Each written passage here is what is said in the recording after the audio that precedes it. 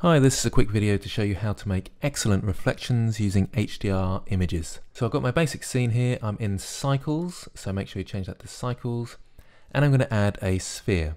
So Shift A, Mesh, UV Sphere. Okay, I'm going to reset that actually, so it goes in the middle. So I've pressed N on my keyboard to get up to here, select all these and press 0, and it'll go into the middle.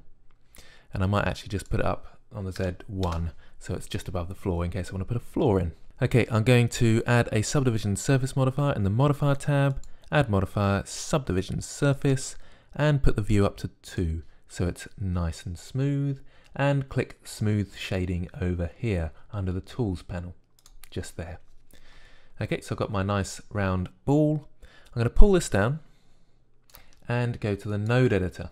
That's where I'm going to add my materials, and add the background. So there's two things you need for nice reflections.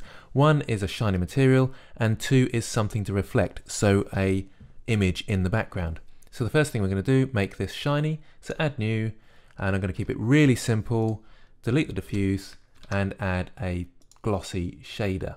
Like I say, nice and simple. You can get a bit more technical than this and do all sorts, but just for now, keeping it simple, glossy shader, and roughness down to zero. So basically it's a mirror ball. So if I press Shift Z now, which is render mode in this panel, you just see a grey ball with a light just there, which is the, the light in the scene. So I'll press Shift Z again, back to solid mode, and I'm going to insert a background image. Okay, the first thing we do is go to the world panel here. So this is my world, and there's the grey background that I was talking about. If you've got uh, nothing there for some strange reason, you can just add a new here and you can get rid of it by crossing it off here. And I'm going to add Shift A texture environment texture. Okay, the next thing I need to go through is environments. Now a great place to grab environments is HDR Labs. And I just typed it into Google here, HDR Labs, and there's the SIBL archive. If I press on that, you get these, and you can click on one of these. What you'll see when you downloaded it is these files. Go for the 8K one, that's the one you want to use, and I'll just show you what that looks like. It's a big map of a whole environment in one image. So this side links up with this side, and this bottom links up with this top. So it's the whole environment all the way around in one image. So back into Blender, I need to press open on my environment texture and find my HDRI. Remember, go for the big one, the 8K image, click on that, open image.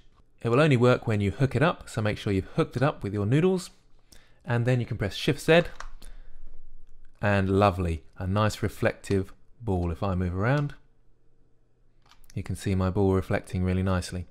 Now what I've also got is a nice monkey there with a like gold with a goldy color texture. If I click on him and go back to the object materials here, you can see I've given him a sort of goldy color.